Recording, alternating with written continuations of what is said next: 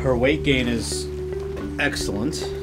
The biggest question is do you want to take the G tube out? All right, let's get her. I can't remember a time when I didn't know I wanted to be a doctor or didn't think I wanted to be a doctor. In medical school, I really enjoyed taking care of children. I really enjoyed surgery in general, the immediate gratification of it. There is a problem that the patient has, and literally after recovery from surgery, that problem is fixed. And there's not really a whole lot of that elsewhere in, in medicine. And being able to do that with my own hands, that's the most rewarding thing by far. I'm Biren Modi. I'm a pediatric general surgeon at Boston Children's Hospital. Once you go in there, the anesthesiologist will have you go off to sleep.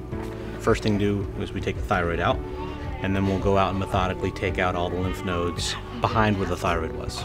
Okay? Department of Surgery at Boston Children's is the biggest in terms of the number of surgeons in the country. We take care of kids in the hospital, kids from the emergency room, kids in clinic, and then we also get to operate all over the age spectrum. We operate on neonates all the way up to 18 year olds, 20 year olds. The thing that draws us to taking care of children is the children themselves. They really had no influence in their disease process. It's something that was thrust upon them, and they are often the most resilient and the most courageous patients that we take care of. And that is something that's really inspiring.